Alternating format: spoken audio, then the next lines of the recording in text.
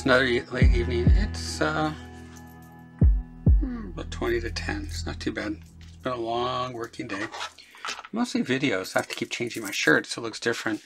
But the problem is these shirts are really old, so kind of look like I just crawled from under a, under a bus or something. But it's a studio. I just wondered if the people on who teach on the uh, social media, if they get all fancy dressed up to go into their own studio to teach.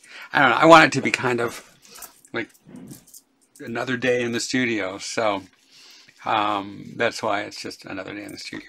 So this is the example of why when you buy a kid a toy, they throw away the toy and then they just play with the box. Look at this box. This sketchbook came in this box. And this box is making for great collections of pencils and stuff. I'm loving the box. The sketchbook's pretty good. I'm loving the box. So, anyways, uh, that's kind of a cute way to get started. So this sketchbook here, put this over here so you can see it. Okay. Um, probably not my best work in here, but it's kind of fun. It was a long time ago. Remember I was uh, on vacation. I turned to my daughter. I said, I'm going to buy myself a nice sketchbook. And that was uh, the beginning of something that was really bad. Cause, and I just continued to buy nice sketchbooks. Um, but I was just kind of sketching. You know, I wasn't doing like real serious drawing. Hmm, nothing good. That's it's quick sketch. Let's see, what do we got here? I want to get back into it. Paper's really pretty. It's pretty. So, that's about where we're at. So, let's go to the Getty. We'll live vicariously through my phone. So, this is Getty stuff. This is the show that's going on right now. Some female sculptor, and they made a big deal it's a female sculptor. And it's good stuff. I went in the first one in the door, right to this, you know, to the show, and I immediately just start taking pictures. Bam, bam, bam, bam, bam. You know, like I'm hired, you know, to to take these pictures. Let me get my coffee. And uh, it's really funny. And the guards are all looking at me, you know, like, who is this guy? Which, you know, I get often anyways when I'm at the Getty. And uh, so because I want to get the, the photos taken so I can go to my Rubens room where I love to hang out. And uh, before I left, after taking all these pictures, I sit down at this little tiny seat, you know, it wasn't anything special, and just knocked out a Renaissance drawing of one of the sculptures. And the guard came over and was like, oh. So that was kind of fun. Anyways, it's a pretty good show. Um, just good stuff. I like this one. It's real dramatic. They're, you know, either they're dark, you know, so it's hard to see. But then they had some that were really, you know, then they get into, you know, the lighter ones. And those take on the light. So that's good. Oh, excuse me. Um, so I took a picture of one of them. The one that I showed you. So let's go ahead and move to that album. There we go. Here we go. So here's here's this one here. So we'll go like this. Let's have some fun with it, okay? So let's see. She's it's pretty dramatic. So she's let's see if we can find a crossover page.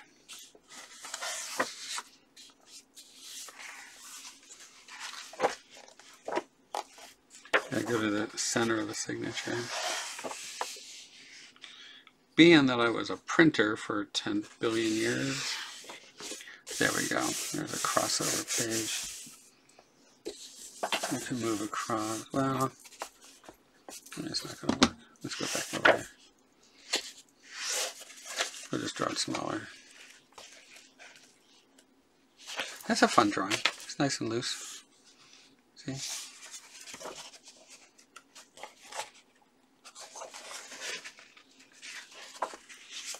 Okay, so just the old animators would hold the pencil back here and just move it around.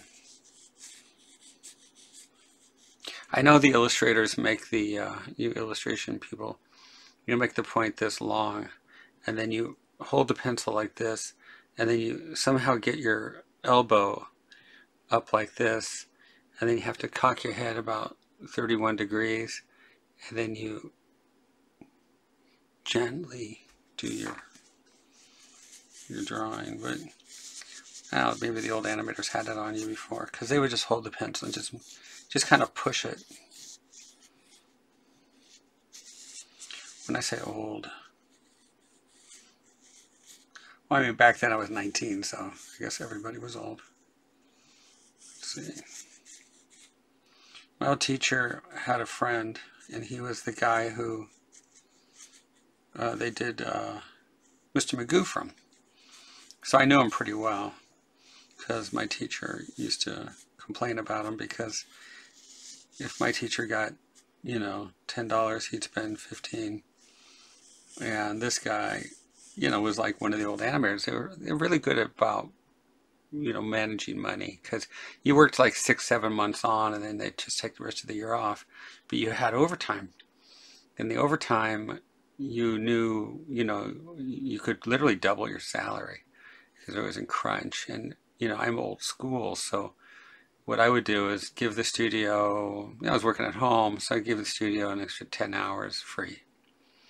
So 40 hour week, 50 hour week, and if I wanted to make changes, I just did it. So it was kind of cool working at home because I could give a lot of quality even though if you're working in house, you may not get to give that quality because it might be a shit scene, and you you gotta you gotta hack out a shit scene.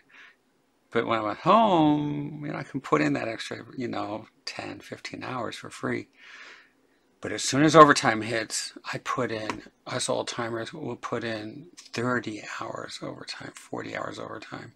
So you're putting in a 70, 80 hour week. And um, so that my teacher used to say about this guy, you know, that he had his first dollar.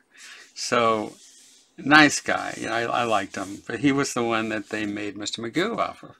And uh, so years later, I'm in a restaurant, just a, I don't know, like a, just a, you know, simple burger place, you know, what do you call it? I don't know, Chili's or something, I don't know, something like that and uh, it wasn't that though.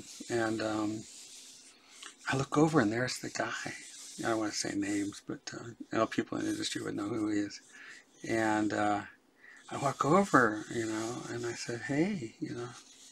And he was, I asked the, the server, I said, "Who is that guy?" He said, "We don't know. He comes in, you know, every night, um, orders a bowl of soup, and you know has the free crackers. I'm already laughing, and he just sits there quiet. And um, I said, "Well, I know him." So I walked up, and his name was Bill, and I said, "Hey, you know, Bill, it's you know, it's Sheldon." And uh, my teacher used to call him, you know, that son of a bitch. And uh, I guess it was, a, you know, it was a compliment back then. So um, I walk up, I go, it's me. And he goes, I go, it's Sheldon, Eddie's, Eddie's kid, you know, because I was known as Eddie's kid. And uh, he goes, oh yeah, whatever happened to that son, that son of a bitch? I was laughing. Well, he was dead. I mean, I think they forgot this guy. I mean, he must have been 110 years old. So, but when I worked with him, you know, I knew him as just a kid. But when I worked with him, he would just push the pencil you know, around the page. Animation was beautiful. So here I'm kind of telling the story. And, uh, you know, they've got, she's got her head really exposed in this picture, which is good. But maybe we bring the shoulder up higher, you know. So we have that story, you know, that she's begging. See? And I'm, and I'm looking for grouping of the uh, body parts. We call it the Jeffrey Dahmer Training Manual and Cookbook. And what happens if you uh, go through a drive-through, like we had this El Pollo Loco in our school, you know. So, you know, you drive through, now it's a Starbucks, and uh, they always have like some valley kid, you know, go, hello, can I help you? Hello, you know, and you're like, um, yeah, I'd like the dark menu, please. And uh, you hear, okay, you know, and then she'd leave. Or he would leave, you know, if he gets scared. And then afterward, you know, a few moments, there'd be a voice. And the voice would say, Yes? Can I help you? And you say, Yeah, I'd like to order an arm. Oh, okay. Well, we have a special today. If you order the arm, we'll throw in the scapula for an extra dollar ninety-five cents. Yeah, that's pretty good. You know, makes good soup. So you order the scapula. See, so the arm connects with the scapula. See, and you say, um, "Can I get you anything else?" Yeah, you know, my wife told me to get a leg, so um, I'd like to order the leg. Oh. We have a special today. I'm sure you do. For an extra $4.95, we'll throw in the buttocks. Great. Great food. Can feed half your neighbor. All right, throw that in. So when you draw the arm, you draw the leg, don't just draw the leg, start grouping. See? and then this groups together. You know, because when you get chicken, you know, the leg looks like a leg, the wing looks like the wing, you know, and start thinking of the body the same way, okay? All right, so now we've got the lay-in, see, and that's the story. And, uh, know, maybe we can push the rib cage a bit more this way. A bit more tension. And spend as much time as you need at this stage, okay? So you see it. And rub it back. So it becomes the value of a halftone. Then take this charcoal and make love to it. Get in there and really feel how that scapula pushes.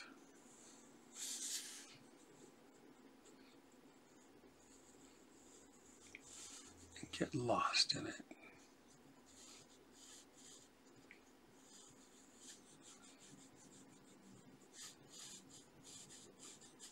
You really can't see anything because it's so dark, so you have to know your stuff. For Infraspinatus, supraspinatus, teres major, teres minor, latissimus dorsi, it's all here. But this is going to go this way. So if it does, we go that way. That's the secret. So let's take a minute and think about this. Everybody, stop what you're doing. If you want a drawing to be loose, if you want a drawing to have action, it has nothing to do with alcohol or drugs. That's not going to do it at all, ever. I've only been drunk once in my whole life. It was this 11th grade. I hated it. The room spun. Um, we don't need it. What you need is law of opposites and the wave and the cool bitch in a wave. So this is going this way. This goes this way. This way, that way. And what's going to happen is you're going to get really cool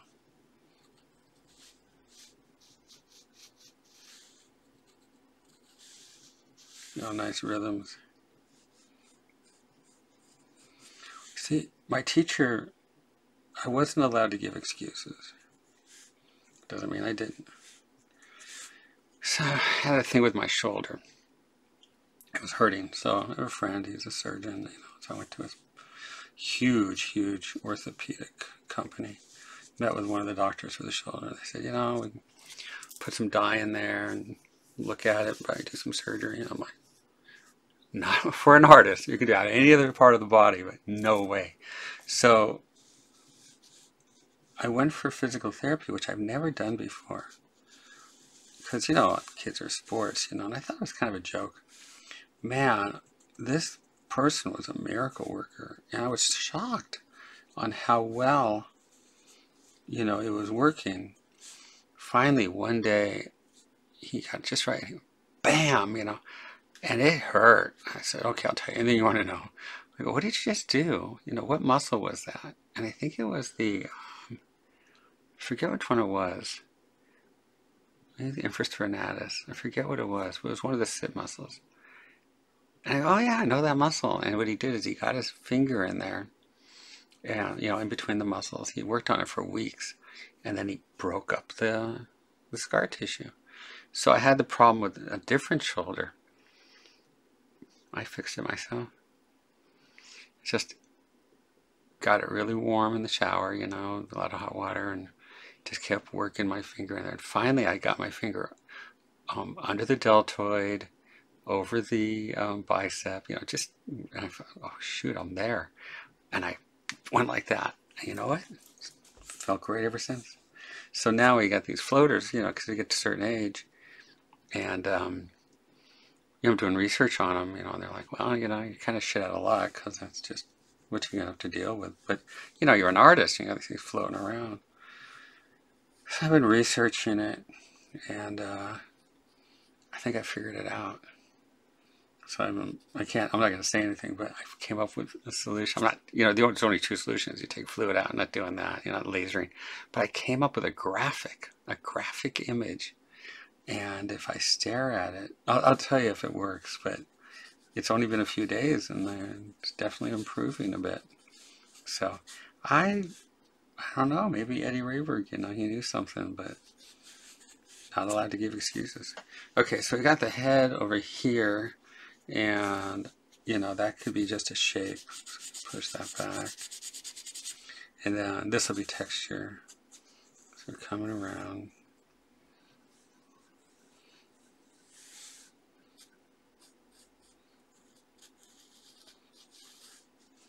You know when you work with sales you're not allowed to go to the sales manager and say you know give excuses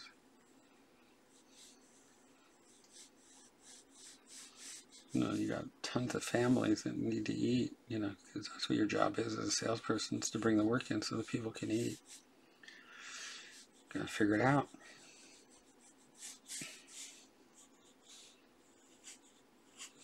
So I'm about to get back into that and figure out some marketing. So she's pretty long. She's getting stretchy, which is good. I would say if you're going to stretch or compress, go towards the stretch. I'll just make it a little bit more elegant. So do that. And then I'm going to come in this way. This comes around.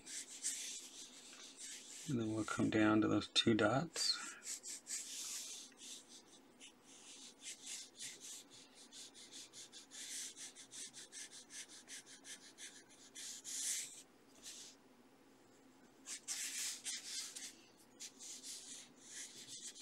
The light's going this way. So I'm going to have a core shadow here. And then my cast shadow down here. This is all, you've got that whole thing in dark. I guess we can do it. Yeah, we go. I'm going to bring it up higher though. And this is a female, has a gland. So I want to use the breast as a tool and push like that. Um, they say that the breasts were designed to feed small children and keep significant others busy at night. Uh, it's not true. They were actually designed to show form and mass. So if you lay down, it falls to the side. Mine definitely fall aside. Um, so we want to get this. In this case, it'll be a shape, but we can go ahead and put in a little tone there, give it mass, the ribcage mass. So they definitely have their reason. And in drawing, they're fun to play with. Okay, so we go here.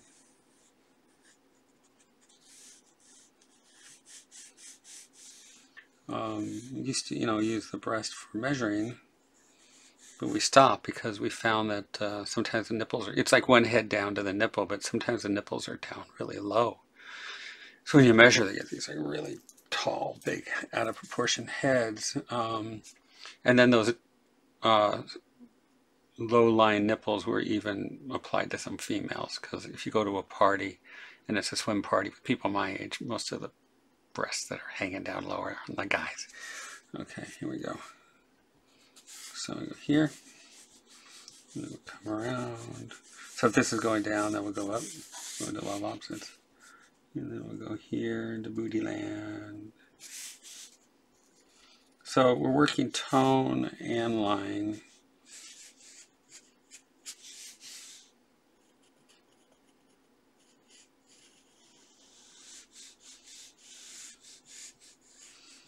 So why do I mostly draw when I'm doing this? So far, they've mostly figure drawings.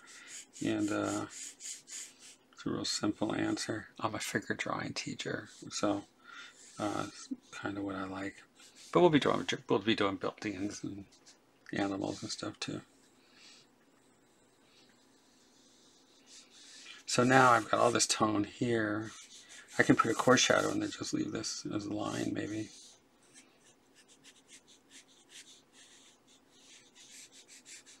I love anatomy.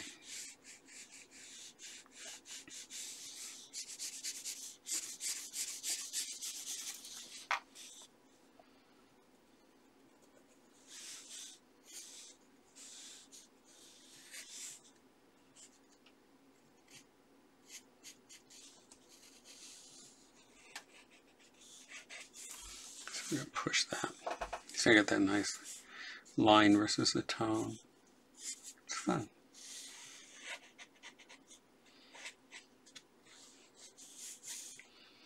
You have to put in hands and feet.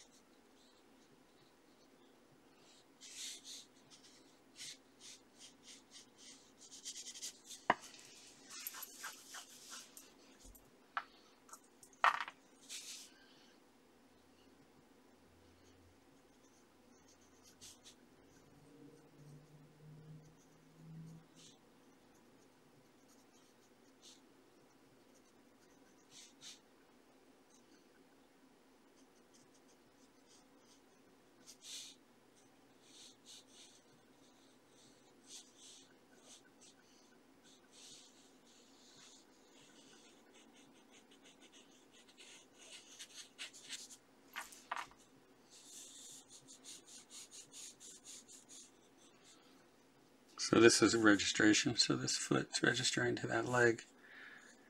So we start there.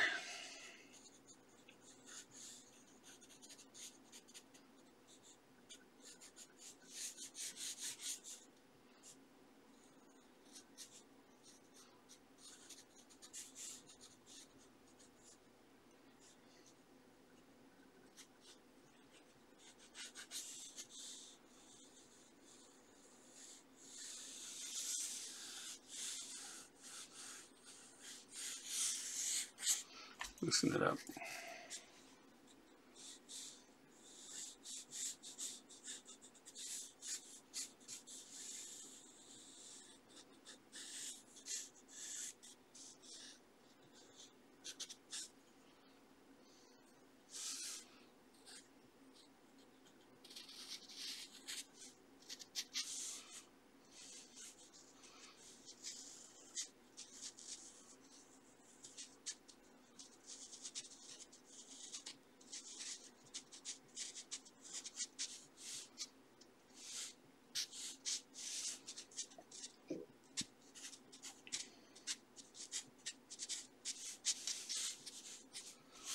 So this is all tone.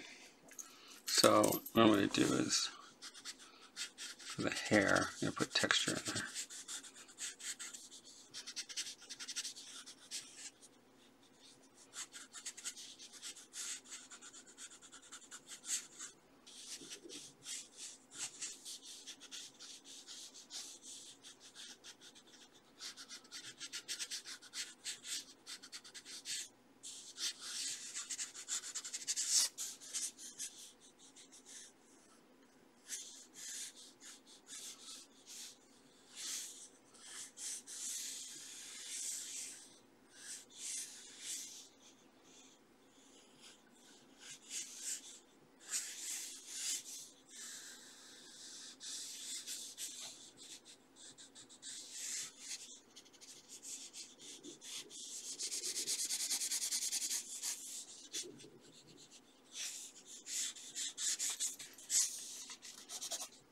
Okay?